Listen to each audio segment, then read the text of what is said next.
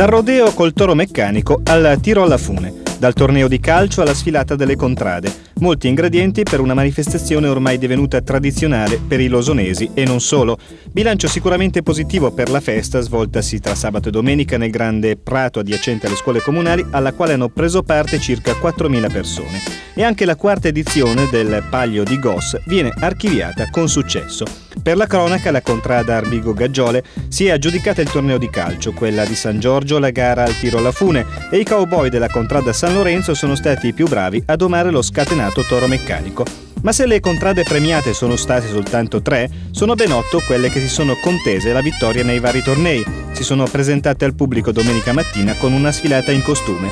Diversi i carri ispirati alle caratteristiche dei rioni, le cui vie sono state pure decorate per l'occasione. È la terza volta in quattro edizioni che i giocatori della contrada Arbigo Gaggiole vincono il torneo di calcio e con la vittoria ottenuta nella finale di domenica si sono aggiudicati definitivamente la Coppa. Da quest'anno il Paglio di Goss ha anche un nuovo presidente, Aldo Döring. Quanto ci si lavora prima per il Paglio, prima che ci sia il Paglio? Eh, si può dire abbiamo già cominciato l'anno scorso, quindi mesi, mesi, mesi di lavoro. Eh. Quest'anno abbiamo avuto anche il corteo, un magnifico corteo, che loro mesi mesi di lavoro hanno, hanno, fatto delle bellissime cose, però abbiamo la fortuna di avere tanti collaboratori, più di 100, no? e le società sportive, le associazioni sportive losonesi che ci danno una mano con la, la bivette e con tutte quelle cose lì. Diverse anche le manifestazioni che hanno fatto da contorno ai tornei come la partita riservata ai giocatori di oltre 50 anni, il tiro alla fune con quattro squadre femminili e una singolare partita destinata ai bambini, ognuno di loro guidato da una madrina calcistica. Alla festa non è mancato il sindaco di Rosone Enrico Broggini, ecco come ci racconta la storia del Paglio e i suoi precedenti.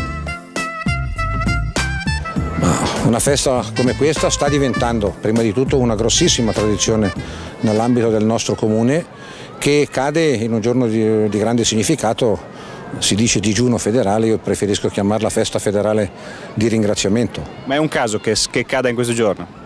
Ma direi che non è un caso. Uh, anni fa, molti anni fa, già esisteva una piccola manifestazione che si svolgeva gio il giorno del ringraziamento. Poi quella manifestazione è andata via morendo ed è rinata in una forma esplosiva bellissima direi, eh, quattro anni fa con la prima edizione di questo paglio. Siete questo paglio da quest'anno, da una quindicina di giorni, anche un'associazione, quindi è qualcosa che lo ancora un po' di più alla realtà e alla continuità immagino, no? Qual è lo scopo?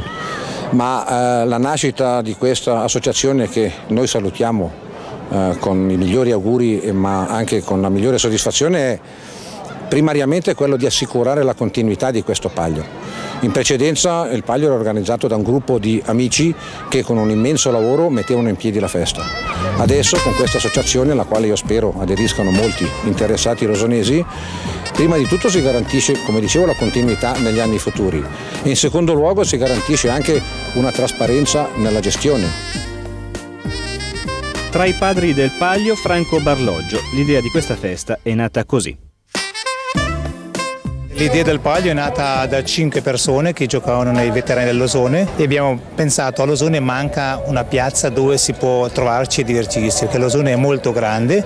Allora facciamo un paglio, sono un po' malato di queste cose, ho detto dove si può divertirsi, dove si può fare un po' di folklore. Siamo partiti con un lavoro per mille persone, sono arrivati 2000, da 2000 sono arrivati a 4 e l'idea dei, nostri, dei miei colleghi è stata quella di centrare i, i giochi, cioè giochi semplici dove si fa venire la gente. E abbiamo pensato il calcio, un sport molto tradizionale, poi mi fa piacere la prima volta, lo dico con piacere, che grazie al Paglio ben quattro società hanno già cominciato a lavorare insieme, quindi ci tengo a dirlo, la zona sportiva, il Sci Club, la, la Società Federale Ginnastica, il Tennis Club e adesso, archiviata la quarta edizione, gli organizzatori pensano già alla quinta, con la certezza che la gente di Losone è sempre più con loro.